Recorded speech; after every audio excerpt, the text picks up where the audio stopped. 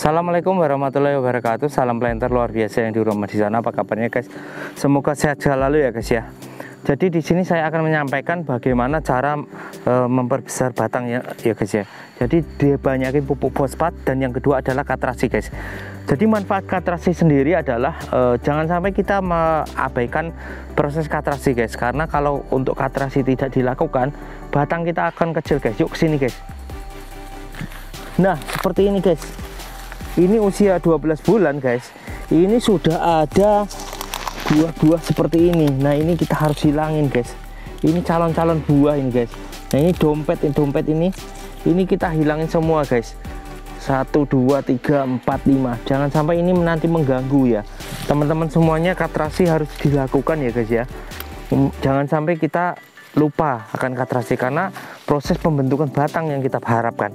Targetnya guys Nah ini alhamdulillah bagus semua guys ya, tidak ada penyakit-penyakit yang berbahaya dan juga uh, apa busuk-busuk segala macam.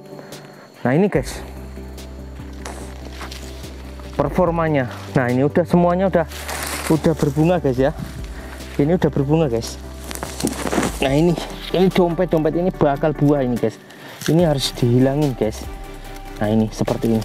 Kita mengharapkan itu adalah uh, hilangnya bunga atau buah ini sehingga nanti batangnya besar seperti itu. Jadi teman-teman manfaat peratrasi yang pertama itu adalah untuk fokus kepada batang ya guys ya. Sawit kita agar fokus kepada batang. Dan kemudian yang kedua adalah uh,